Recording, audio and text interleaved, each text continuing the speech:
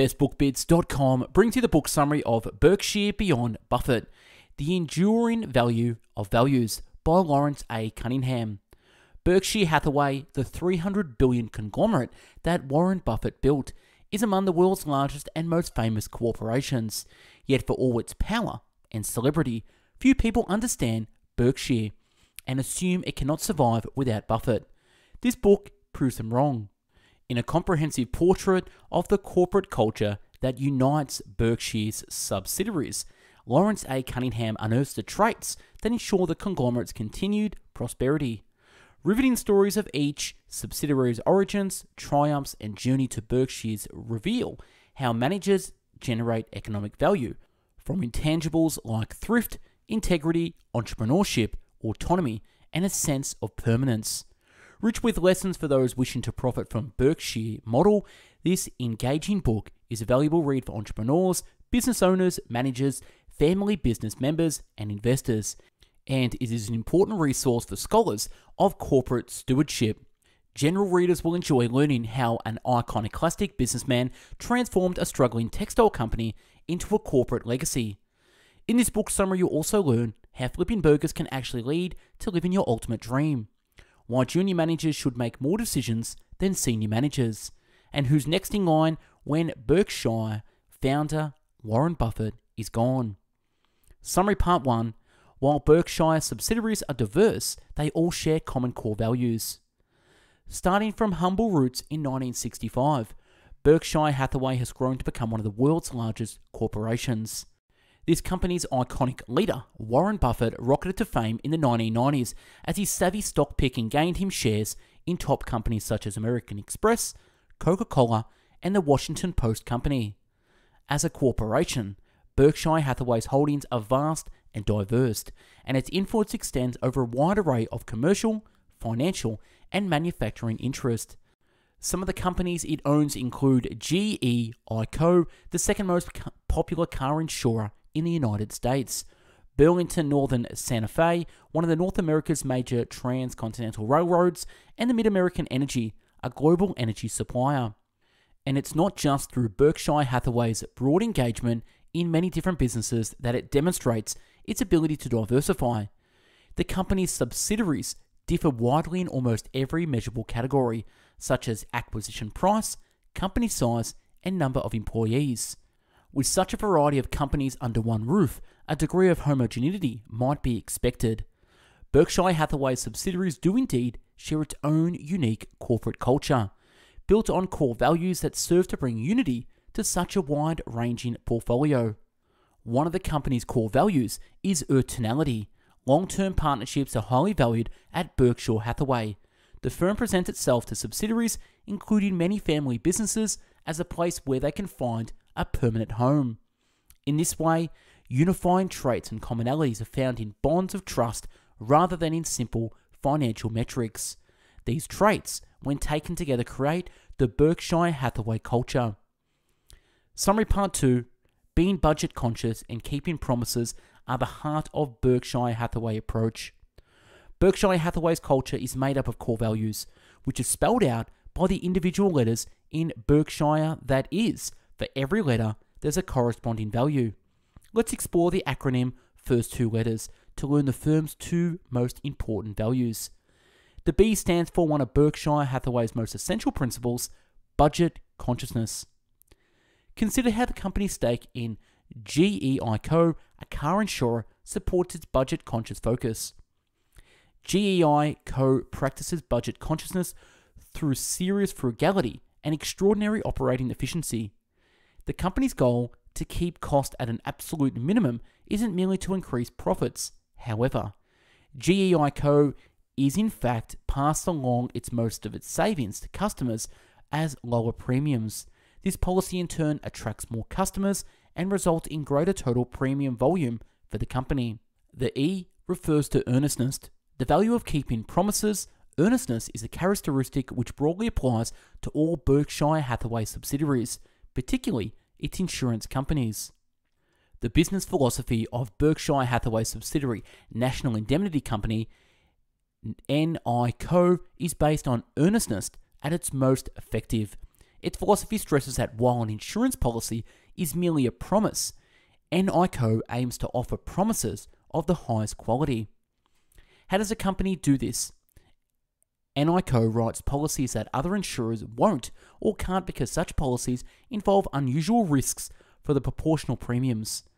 In the months after 9 11 terrorist attacks in the United States, NICO wrote large scale terrorism policies, including a $1 billion policy for several international airlines and a half a billion dollar policy for an overseas oil platform. NICO could write such policies and stick to its earnestness principle as it has made Berkshire Hathaway's core values its own. Summary Part 3 A strong reputation and solid family ties have served Berkshire Hathaway well. A good reputation goes a long way. A good reputation goes a long way, and not just in terms of maintaining a friendship. Even a company's finances can benefit from a company's good rep in an industry. Importantly, investing in the value of reputation, the R in Berkshire has paid off for Berkshire Hathaway companies. Successful furniture retailer and Berkshire Hathaway subsidiaries, Jordan's Furniture earned some $950 of revenue per square foot annually, a number nearly six times the industry average. The company's secret? Jordan's Furniture has sold a reputation based on its unique customer service. Its approach goes beyond offering a wide selection of furniture at good prices with prompt delivery to orchestrating a special experience that the company calls shopper tainment. At one of Jordan's stores, for instance, customers can take a seat in a small theatre or watch a flight simulation. At another, customer services can stroll along a model of Bourbon Street in New Orleans and even tour a riverboat. These entertaining in store concepts attract tons of interested customers and in turn generate higher sales. Truly, Jordan's investment in the value of reputation has paid off. The K in Berkshire, kinship, has proven valuable for Berkshire subsidiaries. In striving to solidify kinship bonds, Berkshire Hathaway aims to create wealth that lasts generations, in the same way that a tight knit family values identity and legacy. Berkshire Hathaway does business for the long term. This makes family businesses particularly attractive for it, as they are often characterized by powerful bonds such as fairness, mutual respect, and trust. And in business, this pays off. In 1995, Berkshire Hathaway was able to acquire family business RC Willey Home Furnishings for $25 million less than a rival bid. RC Willey knew that Berkshire Hathaway appreciated the strengths of family businesses and saw value in its financial position and the policy of permanent relationships. Thus, the benefits of its own corporate culture allowed Berkshire Hathaway to seal a deal while also saving money. Summary Part 4 Self starters and entrepreneurial thinkers thrive under Berkshire's hands off management policy.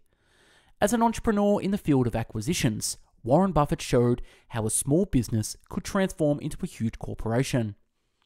It's no surprise that this entrepreneurial spirit still fuels Berkshire Hathaway's company culture.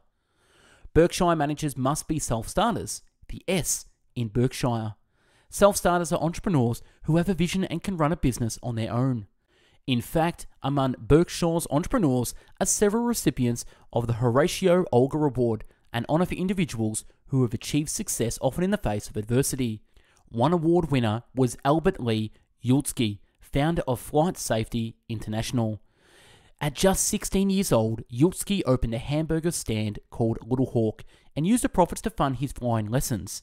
His passion for flying then inspired him to teach others how to fly. Ueltschi eventually created the world's premium commercial pilot training school, using flight simulators to teach routine patterns and emergency drills. Since 1996, flight safety has been part of Berkshire Hathaway. To encourage a self starter mentality in employees, Berkshire Hathaway practices a hands off, the H in Berkshire management approach. Most businesses are often organized bureaucratically, mired in committees and meetings, with multiple layers of reporting to make sure every message and decision is controlled. In contrast, Berkshire Hathaway's management approach values decentralization and autonomy. Every subsidiary stands on its own, and only the most mission critical decisions are made at headquarters. Interestingly, Berkshire Hathaway subsidiaries employ more than 300,000 people, while Berkshire headquarters claims only two dozen employees. Some Berkshire subsidiaries also practice the 90 10 rule, in which junior managers make 90% of the decisions while senior managers collaborate on the rest. In particular, for issues which involved unusual risk, require special skills, or go beyond the expertise of junior managers.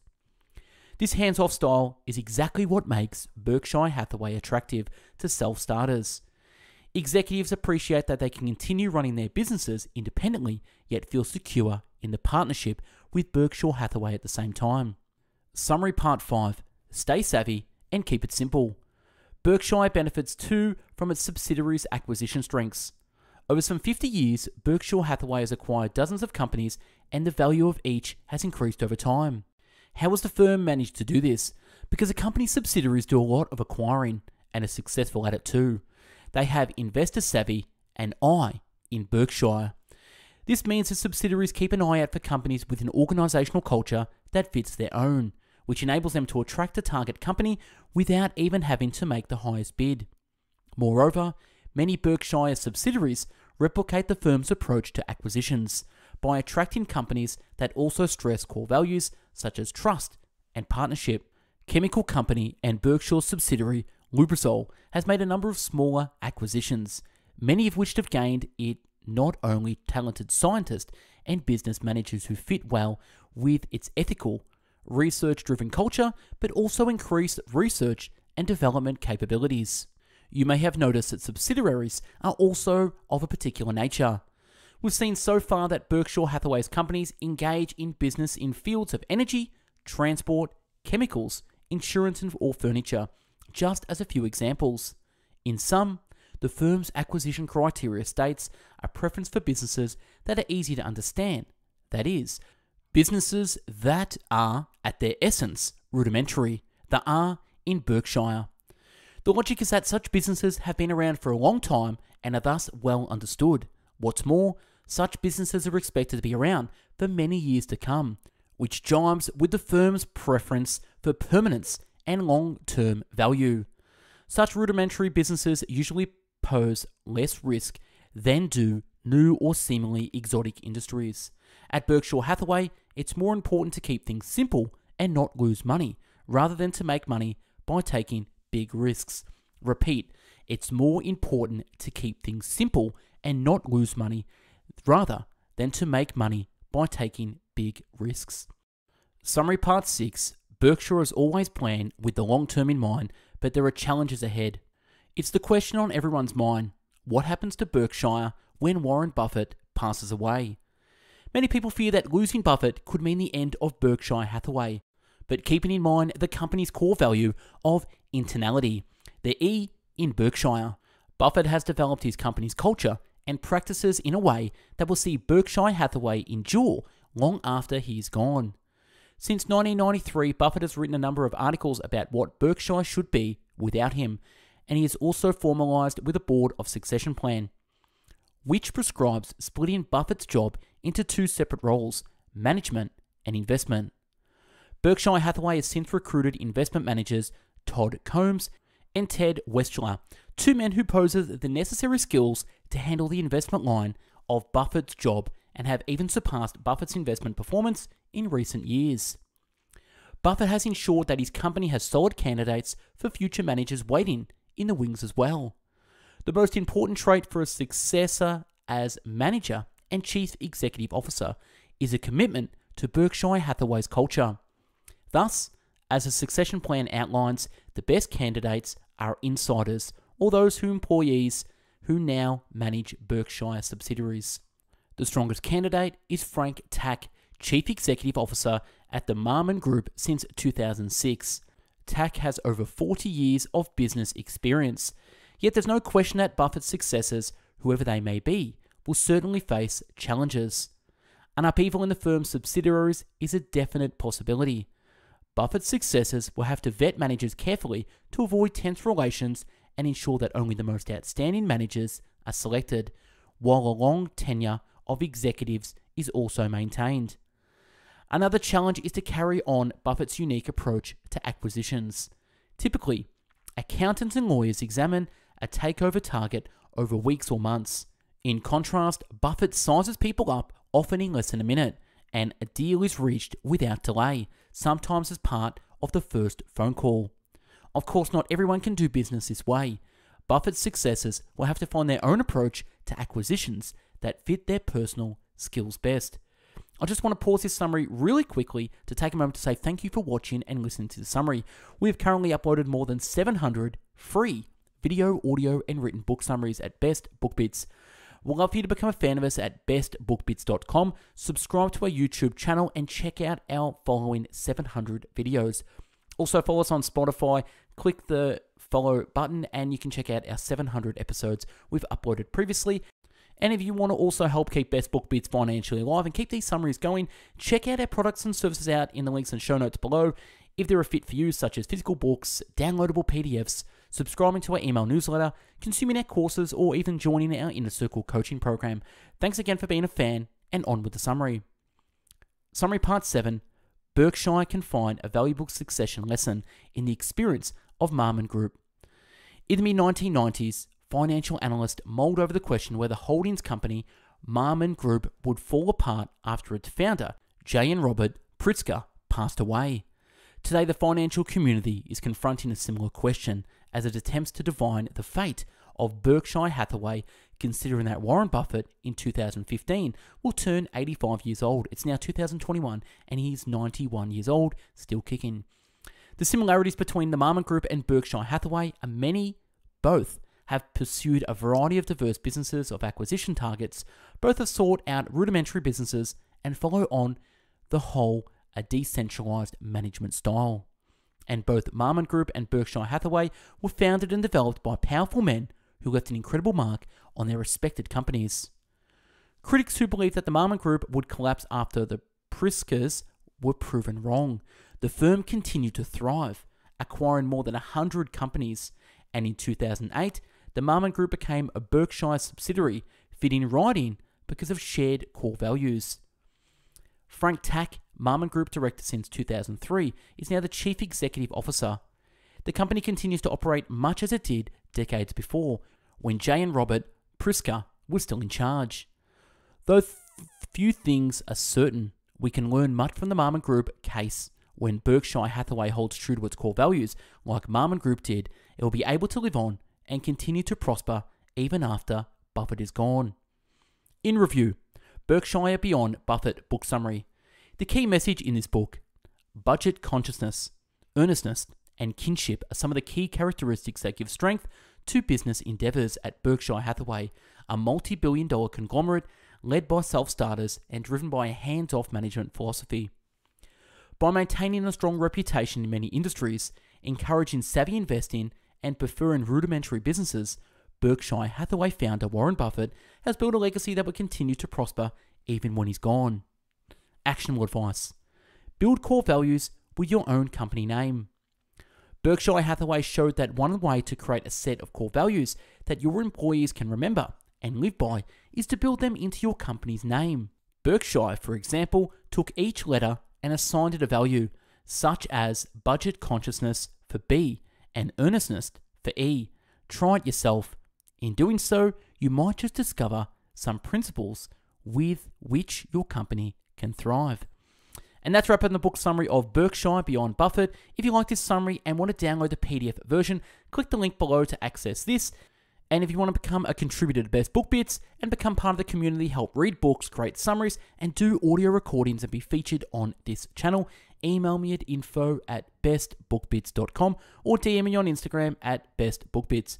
You can also join our free book club at Facebook at Best Book Bits. And if you want me to do a book summary, comment, DM me, or email me. Thanks for watching and listening. Hope you got something from this. Go out there, have an amazing day. Take care. Bye bye now.